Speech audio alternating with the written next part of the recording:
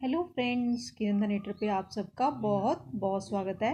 आज के इस वीडियो में मैं आपके लिए लाई हूँ बहुत ही सुंदर डिज़ाइन। इस डिज़ाइन को फ्रेंड्स आप बच्चों के स्वेटर पे जेंट्स स्वेटर पे कैप पर बुन सकते हैं और एज ए बॉर्डर भी इसका इस्तेमाल कर सकते हैं। बहुत सुंदर बन के आता है। तो इसके लिए देखिए मैंने यहाँ पर लिए हैं बीस फंदे। ये जो पैटर्न है, ये तीन तीन के मल्टीपल में चलता है। आप तीन तीन के मल्टीपल करके प्लस टू करेंगे तो आपका पैटर्न जो है, आपके प्रोजेक्ट पे सेटल हो जाएगा। प्लस टू आप करेंगे एजिस के लिए एक एज इधर रहेगा इसका स्टिच और एक इधर रहेगा, और बीच में इसके तीन तीन के मल्टीपल चलेंगे। तो फ्रेंड्स मैं आपको इसी पे बता दूँगी, सिर्फ़ दो सिलाइयों का डिज़ाइन है, बहुत इजी डिज़ाइन है। तो चलिए स्टार्ट करते हैं।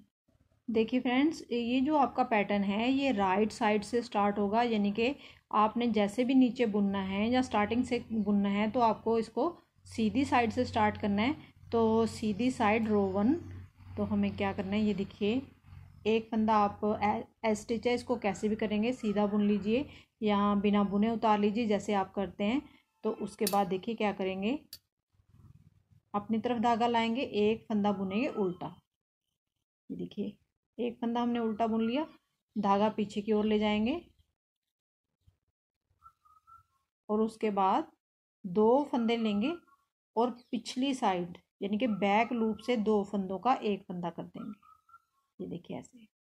ये आपके यहाँ पे तीन फंदे हो गए हैं। एक फंदा आपने उल्टा बुना है और दो फंदों का एक किया है। तो आपको सारी सिलाई आगे ऐसे ही करते जाना है। ये देखिए, एक फंदा उल्टा बुनेंगे। यहाँ पे ऐसे धागा पिछली वाली साइड करेंगे। दो फंदों का एक फंदा करेंगे बैक लूप से बुनते हुए। देखिए ऐसे, बहुत इजी पैटर्न है और दिखने में बहुत सुंदर आता है। और फ्रेंड्स अगर आपकी वूल थोड़ी मोटी हो तो और भी सुंदर दिखेगा ये। ये देखिए, फिर से आपको ऐसे करना है। उल्टा फंदा बुनेंगे, धागा पीछे को ले जाएँगे, दो फंदों का एक करेंगे बैक लूप से ऐसे सीधा बुनते हुए।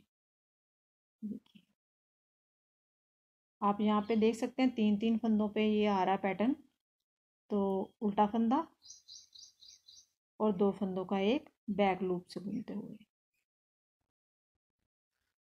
उल्टा फंदा, दो फंदों का एक करेंगे, बैक लूप से बुनते हुए। देखिए ऐसे। उल्टा फंदा बुनेंगे और दो फंदों का एक करेंगे, बैक लूप से बुनते हुए। और लास्ट में फ्रेंड्स, आपके पास बचेगा एक स्टिच उसको आप अपने हिसाब से कैसे भी बुन सकते हैं। तो ये मैंने यहाँ पे बुन दिया सीधा। तो ये रो वन राइट साइड की हमारी इसमें कंप्लीट होती है। रॉन्ग साइड में हम उल्टी साइड में इसकी और ये इसकी दूसरी सिलाई है। तो स्टिच है, जैसे मर्ज़ी बुनिए आप। मैं इसको उल्टा बुन लेती हूँ ऐसे। और यहाँ पे आगे देखिए, दो फंदों पे आपका कैसे करना है आपको। पहले, पहला फंदा अभी आपको नहीं बुनना है। सेकंड फंदा बुनेंगे ऐसे, उल्टा। ये देखिए। सेकंड फंदा बुन लेंगे और इसको थोड़ा ढीला रखेंगे, ये देखिए ऐसे।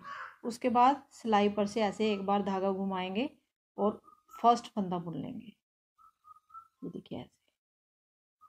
फिर इन दोनों को ऐसे छोड़ देंगे। आपके तीन फंदे थे उधर, फिर से आपके तीन फंदे हो गए यहाँ पे। ये देखिए दो फंदों पे कैसे प्रोसेस करना है आपको? एक फंदा पहले वाला ये छोड़ के नेक्स्ट वाले को बुनना है, उल्टा, ऐसे। थोड़ा ढीला रखेंगे, धागा सिलाई पर से ऐसे घुमाएँगे, ये आपका एक फंदा बन जाएगा। और फिर आप फ़र्स्ट फंदा बुन लेंगे, देखिए ऐसे, और फिर दोनों को इकट्ठा छोड़ेंगे, ऐसे। ऐसे करते जाना आपको, ये वाला फंदा आप छोड़ देंगे, पहले नहीं बुनेंगे।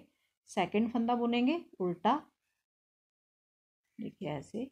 इजीली हो जाता है ये। सिलाई पर से धागा घुमाएँगे।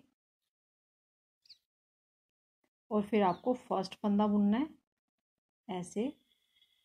और ये दोनों छोड़ देने हैं। फिर से ऐसे सेकंड फंदा उल्टा बुन लेंगे। सिलाई पर धागा घुमाएँगे। और फिर फ़र्स्ट फंदा बुनेंगे। और दोनों को इकट्ठा छोड़ेंगे। सेकंड फंदा बुनेंगे उल्टा। सिलाई पर से ऐसे धागा घुमाएँगे और फिर हम इसको फ़र्स्ट वाले को बुनेंगे और फिर दोनों को इकट्ठा छोड़ेंगे। ये देखिए ऐसे। सेकंड फंदा बुनेंगे सिलाई पर से धागा घुमाएँगे और फिर फ़र्स्ट फंदा अकेला बुनेंगे और फिर दोनों को छोड़ देंगे। उसके बाद एस्टिच है, इसको आप जैसे चाहें बुन सकते हैं। ये मैंने उल्टा बुन लिया है। देखिए ऐसे। देखिए फ्रेंड्स यहाँ पे हमने दो सिलाइयाँ जो हैं इसमें कंप्लीट कर ली हैं। तो ये सिर्फ़ दो सिलाइयों का ही पैटर्न है, जो मैंने आपको रो वन और रो टू बुन के दिखाई है, वैसे ही आप आगे आगे बुनते जाइए।